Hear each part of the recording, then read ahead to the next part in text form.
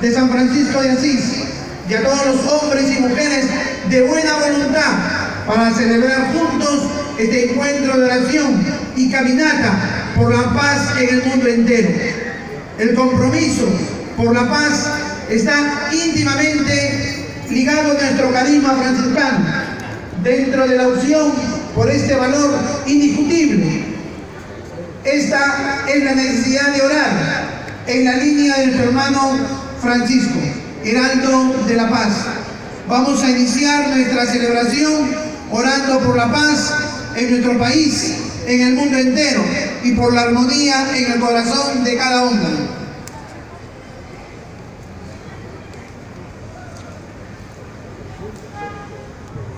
En el nombre del Padre, y del Hijo, y del Espíritu Santo. Amén. La gracia y la paz de Dios nuestro Padre, y de Jesucristo el Señor, esté con cada uno de ustedes. Vamos, cada uno de nosotros, a reconocer con humildad cada uno de nuestros pecados. Hemos venido cada uno de nosotros preparados exteriormente para realizar esta marcha de la paz. Pero también el día de hoy preparémonos en nuestro interior y busquemos que esta paz que gritamos, esta paz que pedimos, también haya en nuestros corazones. Decimos juntos, yo confieso ante Dios Todopoderoso y ante ustedes hermanos que he pecado mucho de pensamiento, palabra, obra y omisión, por mi culpa, por mi culpa, por mi gran culpa. Por eso ruego a Santa María siempre Virgen, a los ángeles y a los santos, y a ustedes hermanos, que intercedan por mí ante Dios nuestro Señor. Dios Todopoderoso, tenga misericordia de cada uno de nosotros, perdone nuestros pecados y nos lleve a la vida eterna. Amén.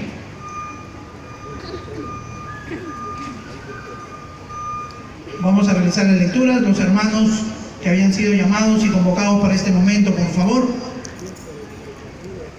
Hermanos, Jesús en su discurso de despedida en el cenáculo nos deja un rico legado del don del Espíritu Santo y el don de la paz verdadera, signos de la autenticidad del cristiano. Acojamos gozosos, con el corazón abierto, el don de Jesús. El hombre siempre ha esperado la armonía y la paz con sus semejantes y con todas las criaturas. Tiene como nostalgia el paraíso de donde salió por el pecado.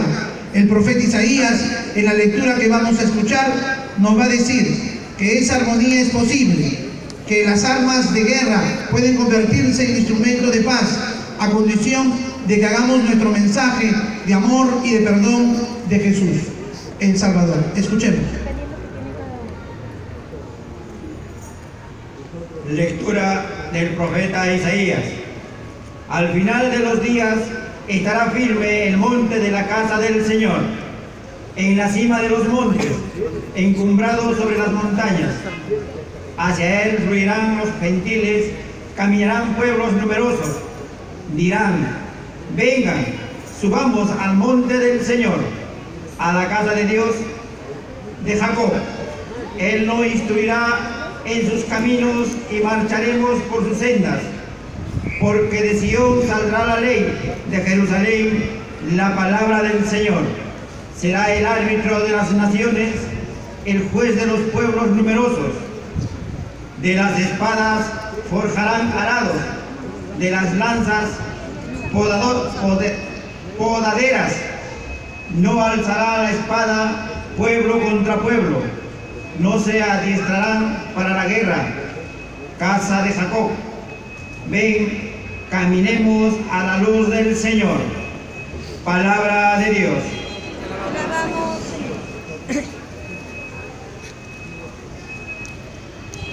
Salmo responsorial. A cada invocación repitamos, Dios anuncia la paz a su pueblo. Dios anuncia la paz a su pueblo. Voy a escuchar lo que dice el Señor. Dios anuncia la paz a su pueblo y a sus amigos. La salvación está cerca de sus fieles y la gloria habitará en nuestra tierra. Dios anuncia la paz a su pueblo. La misericordia y la fidelidad se encuentran, la justicia y la paz se besan, la fidelidad brota de la tierra y la justicia mira desde el cielo. El Señor nos dará la lluvia y nuestra tierra dará su fruto. La justicia marchará ante Él, la salvación seguirá sus pasos.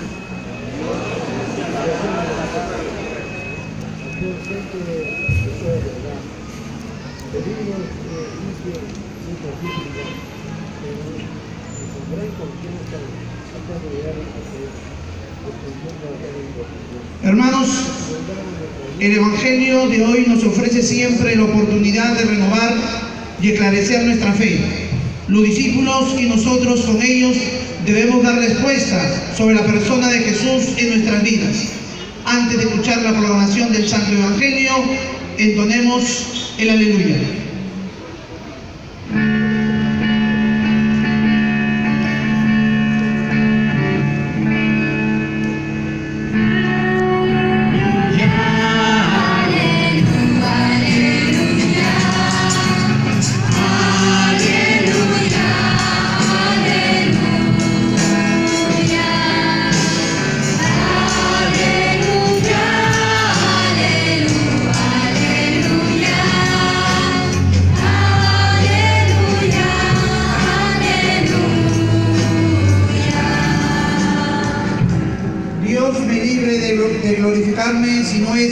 De nuestro Señor Jesucristo, en la cual el mundo está crucificado para mí y yo para el mundo.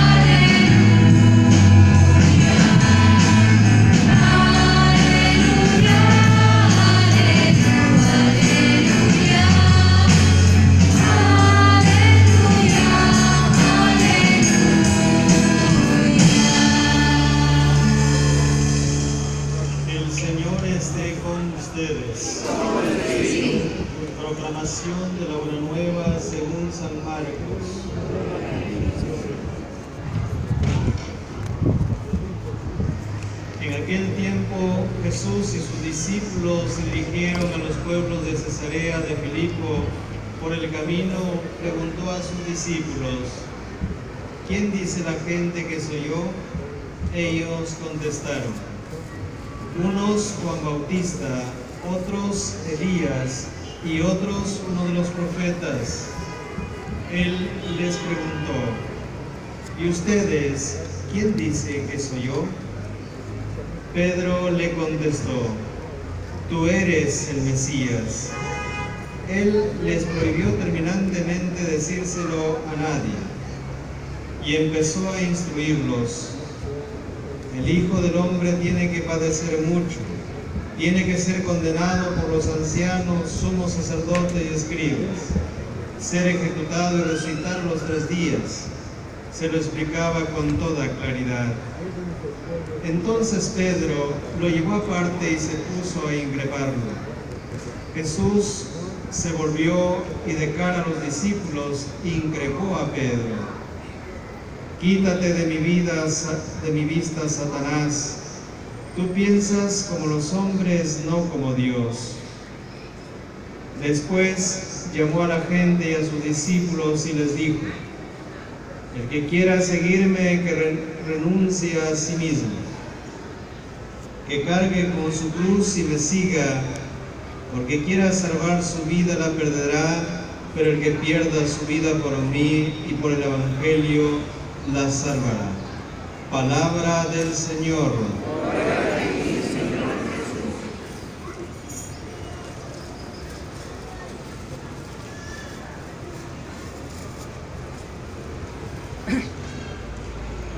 Queridos hermanos y hermanas, reciban cada uno de ustedes un saludo franciscano de paz y bien.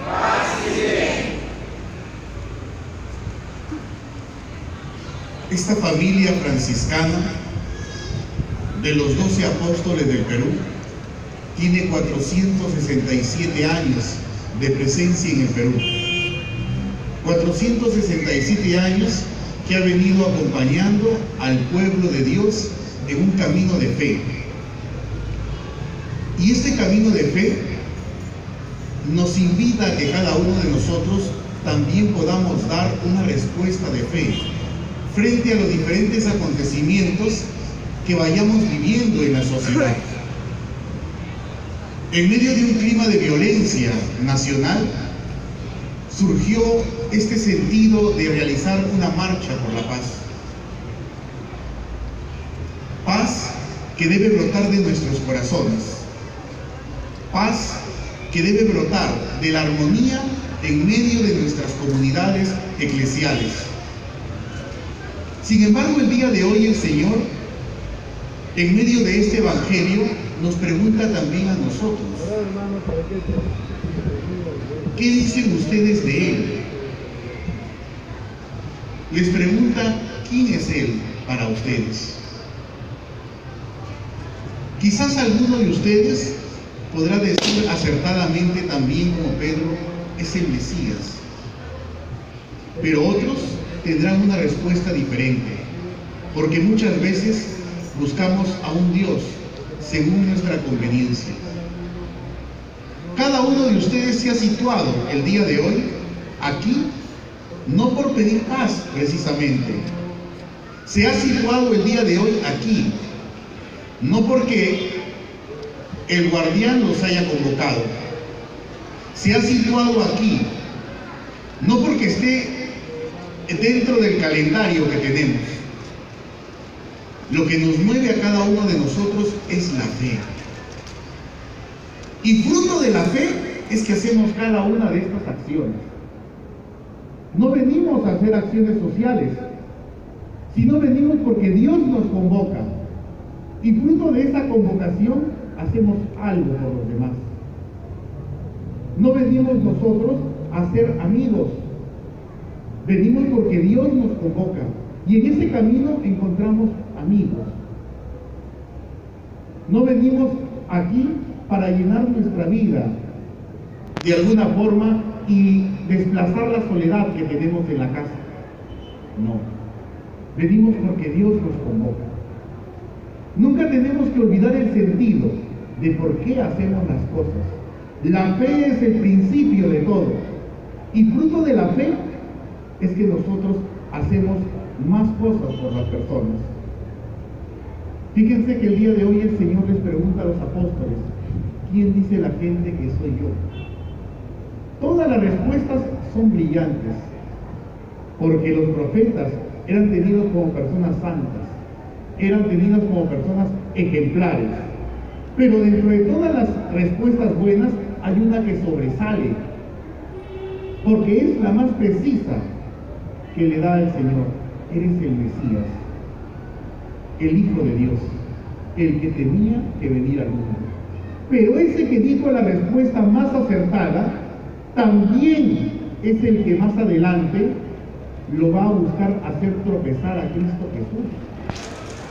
Y nosotros tenemos que tener cuidado, porque en el camino de la fe también hay muchos tropiezos, que si no estamos como el Señor dice, atentos y despiertos, orando en todo momento y en todo lugar, nuestro enemigo el diablo buscará rondando a quien devorar. Querido hermano y hermana, si es que nosotros no nos mantenemos en oración, seremos presa fácil del demonio. Y esta marcha que el día de hoy realizamos, si es que no parte desde el interior de nuestro corazón, si es que no hemos encontrado paz en medio de nuestro corazón y no practicamos aquella paz en medio de nuestros grupos, no servirá de nada. Cada una de las manifestaciones que hacemos en medio de la basílica deben partir de una experiencia enorme con el Señor. Fíjense el día, hace algún tiempo, me invitaron a celebrar una Eucaristía. Y una Eucaristía en un lugar bastante alejado, bastante alejado. y yo acepté ir a esta Eucaristía. Cuando partí al lugar donde me habían indicado, me di cuenta que era más lejos de lo que me habían dicho. Y siempre te dicen las personas, es aquí cerca, no más padre, es cerca. Son tres horas y cerquita. Al final las tres horas se convierten en cuatro, cuatro y media y todavía no llegas al lugar. Pero al final llegué al lugar. Y cuando llegué al lugar había mucha gente esperando allí en el paradero. Porque el carro va dejando a la gente de paradero en paradero. Y yo pensé de inmediato que las personas habían salido a esperar a alguna autoridad, quizás al alcalde que venía de la ciudad, o quizás alguna persona importante que de alguna forma hiciera algo notable a nivel de obras en ese pueblo, que era bastante abandonado. Cuando me dirigí a la iglesia, el pueblo estaba prácticamente desierto. No había gente. Y me tuve que sentar en medio de las gradas esperando a que alguien me atienda. Y yo había ido vestido así de civil, y solamente con mi maleta pequeña que llevaba mis ornamentos. Esperé bastante tiempo allí, hasta que vino una persona y me dijo lo siguiente. Me dijo, ¿usted qué hace aquí? Vamos a esperar allá, que va a venir el padre de abajo de la ciudad. Y yo le pregunto, yo soy el padre, le digo. Y el Señor me dice, no, va a venir un padre Michael. Y yo le digo a las, justamente al Señor, yo soy el padre Michael, le digo. Y este señor me dice, el padre grande, el padre Michael es uno alto, de ojos verdes, cabello azul, cabello